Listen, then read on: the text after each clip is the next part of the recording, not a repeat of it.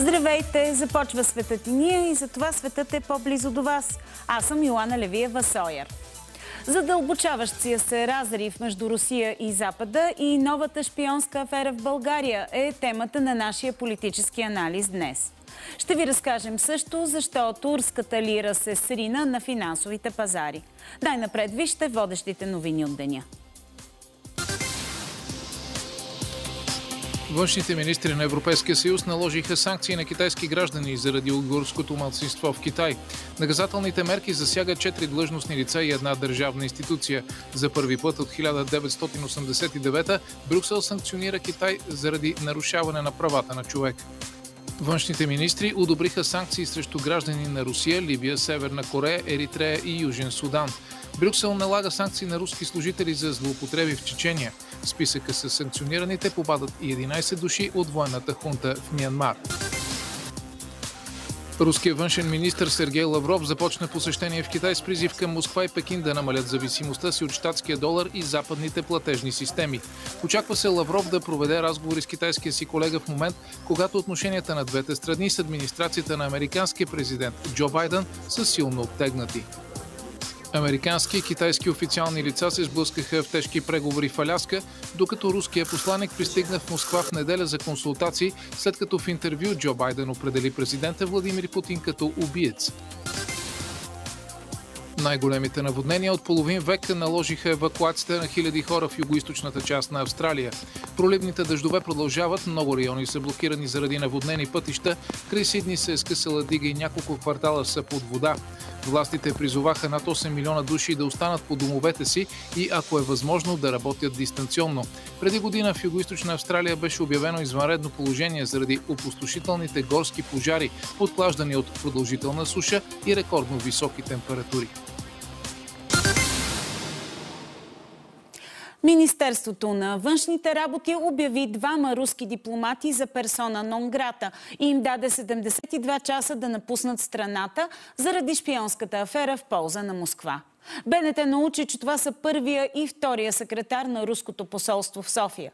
Стана ясно, че те са получавали документи с гриф НАТО секретно.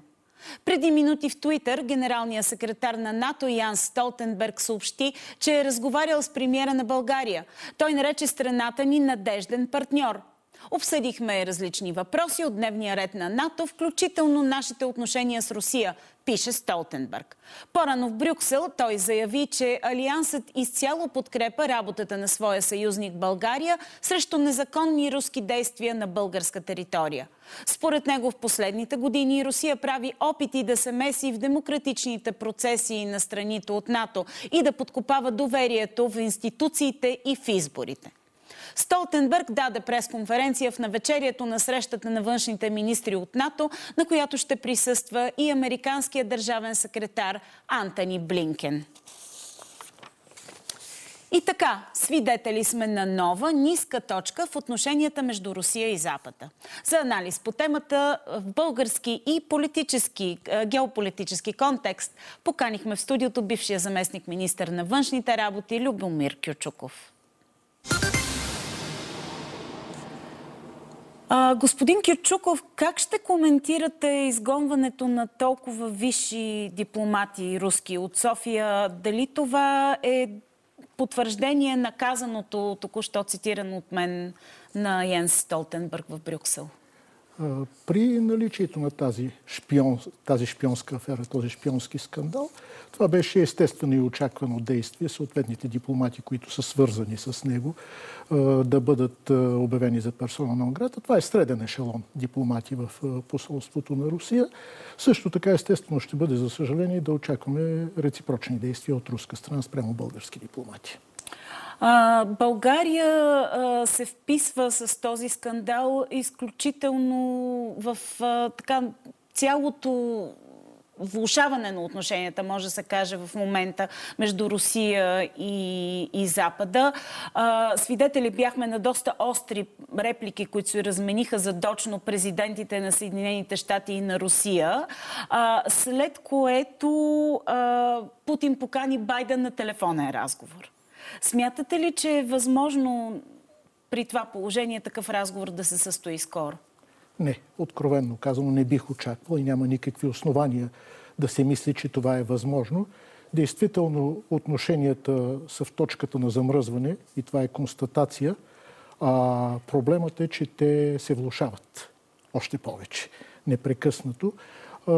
Това, което се случи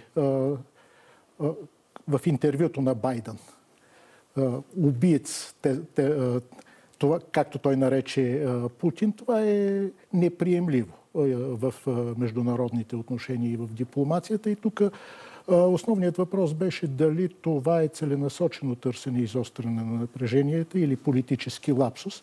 Има всички основания и всички наблюдатели считат, че това е по-скоро лапсус политически, всички, които са гледали интервюто, но то свидетелства за нещо друго, за състоянието на отношението и за това колко близко те са до ръба на а, непредвидими действия, когато една грешна дума или едно грешно действие могат да а, предизвикат конфликти. Тук ключовият въпрос е как приключва конфронтацията.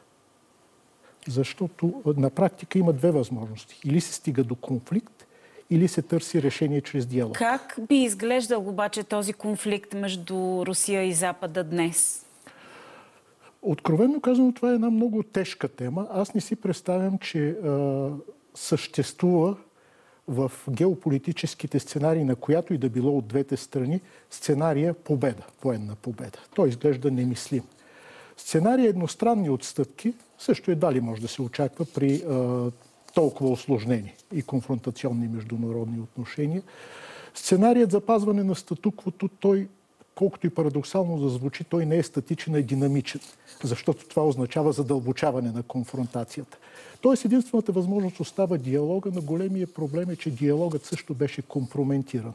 Компрометиран след срещата Лавров-Борел, а също така след първия разговор на Байден с Путин, защото диалога се превърна в трибуна за взаимни претенции, а не за търсене на решение. А, продължава така ескала... ескалацията на налагане на санкции към Русия. Външните министри на Европейския съюз очакват да обсъждат това днес. Всъщност санкции срещу Русия има а, от страна на Съединените щати специално още от времето на президента Обама. А, те бяха наложени заради анексирането на Крим. В последствие видяхме сега и санкциите заради а, опита за убийство на опозиционера Навални. Същевременно обаче чухме президентът Лавров днес в Китай да омалуважава значението на тези санкции. А, кажете, работят ли, въобще работи ли този механизъм, така наречения закон Магницки, в регулирането на отношенията с Русия? Санкциите не решават проблемите. Няма нито един международен проблем, който да е решен по пътя на санкциите извън системата на ООН. И санкциите, за съжаление, се превърнаха в ритуал, в политически ритуал от Крим насам, както споменахте, като в много случаи те са опит да се прави нещо, за да не се прави нищо. Тоест ефектът от тях е много малък.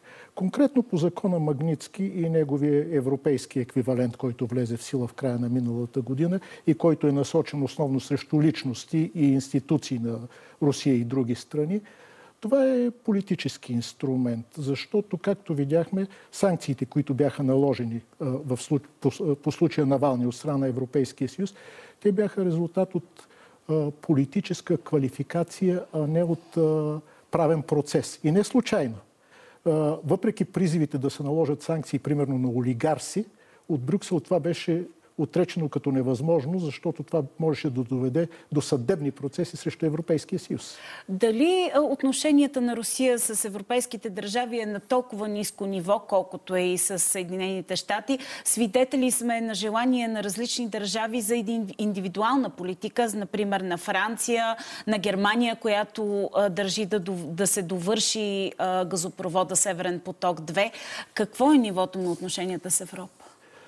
За разлика от Съединените щати, в Европа има доста по-разнопосочни мнения по отношението с Русия. Байден нееднократно подчертаваше в своите речи, че той ще подхожда от позиция на силата спрямо Русия и Китай. В Европейския съюз няма такова съгласие, въпреки че тук големия проблем е разминаването в философията. Има две школи, бих казал, в Европа по отношение на Русия и те са свързани с сигурността. Едната това е на Прибалтика, на Полша, на Румъния, съседните на Русия страни, които се чувстват застрашени от Русия и които смятат, че сигурността трябва да се гради без и срещу Русия, докато страни като Германия, Франция, които вие споменахте, те смятат, че сигурността е неделима и че конфронтацията с Русия а, застрашава сигурността. Има ли заплаха и за нашите ценности в България? Виждаме, че бяха арестувани български граждани и то служители на, военното ни министерство във връзка с този шпионски скандал. Сега продължава да се задълбочава той. Има ли наистина такива опити за намес? Всички тези, че България че България може да измени своята евроатлантическа ориентация са спекулативни и те се използват за вътрешно-политически цели в България. България е член на НАТО и на Европейския съюз. Когато има заплаха за националната сигурност, тя безусловно трябва да бъде а, отстранена, както е в дадения случай. Тук въпросителните се появяват от друго. Те се появяват от действията и бих казал бездействията на сегашната българска прокуратура по подобни случаи защото всички тези показни арести на министри и заместник министри, на олигарси и а, бизнесмени, включително и предишния шпионски скандал с председателя на Русофили а, Николай Малинов, нито един от тях не завърши с осъдителна присъда в съда. А, да разбирам ли, че очаквате да се случи този път по-сериозно и последствия да има? Можем само да се надяваме, че прокуратурата няма, няма отново да се окаже не в състояние да защити своите тези в съда. Аз ви, аз ви благодаря, господин Кючуков, за вашия коментар и ще следим събитията. Изключително важен е за нас въпроса за сигурността и най-вече за авторитета на България пред нейните съюзници. Благодаря, благодаря ви.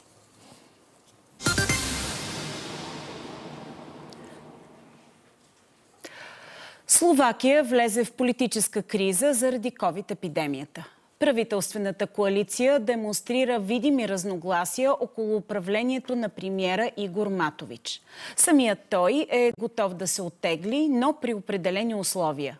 Кризата е в момент, когато нивото на смъртността и заболеваемостта от COVID-19 в Словакия е едно от най-високите в света.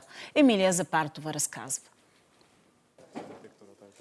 Дясноцентристският словашки премьер Игор Матович изрази готовност да напусне поста си, за да ликвидира разногласията в четирипартийната коалиция, най-вече заради управлението на COVID-кризата.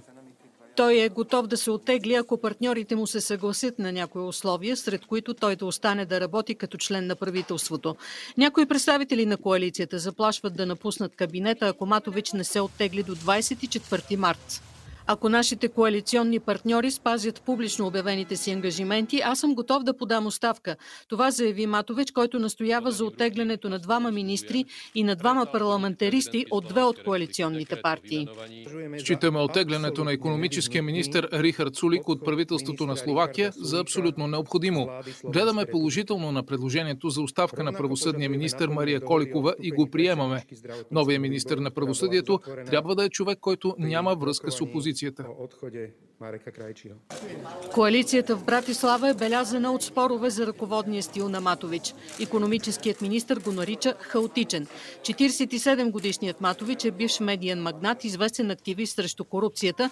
Наблюдателите го определят като непредвидим.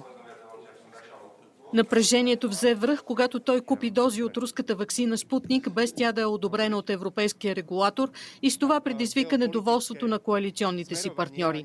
Матович лично посрещна доставката на летището в Кошице, но вакцинацията с нея не е започнала. Малко над 5 милионната Словакия заразените са близо 350 хиляди, а починалите над 9 хиляди. На 18 март Матович допусна възможността за провеждане на предсрочни избори, ако правителствената криза не се реши. В момента проучванията дават преднина на левите опозиционни партии. Сегашните формации в правителството спечелиха изборите миналата година на фона на гнева на словаците след убийството на разследващия журналист Ян Куцияк. Рекорден срив на турската лира на финансовите пазари, след като президентът Ердоган изненадващо уволни управителя на Централната банка. Лирата поевтиня с 17% спрямо долара. Опасенията са, че ще продължи да се срива и ще доведе до смущения и на други финансови пазари. Биляна Бонева следи темата.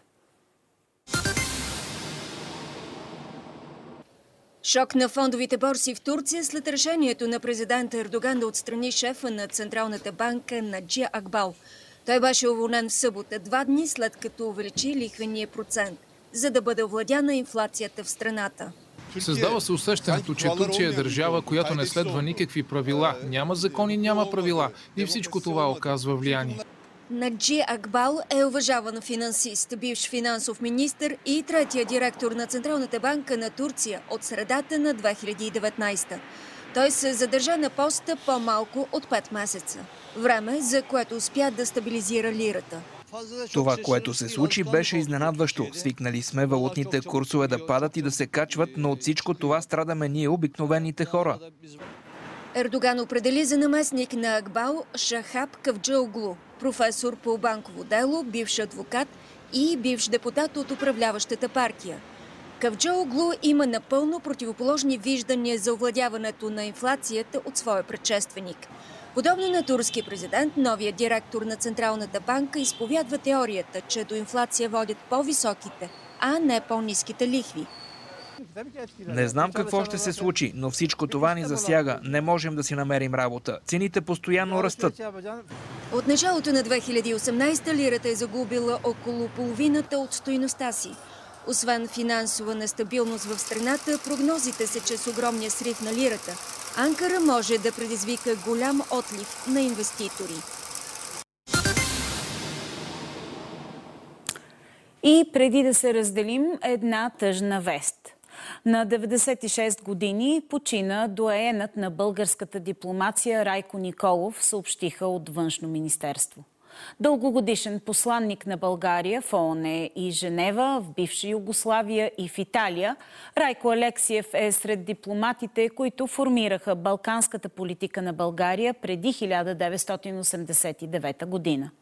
Той е човекът върнал Сергей Антонов в София, автор е на поредица от книги, които бележат ключови моменти от историята на българската дипломация от края на века. Поклон пред паметта му.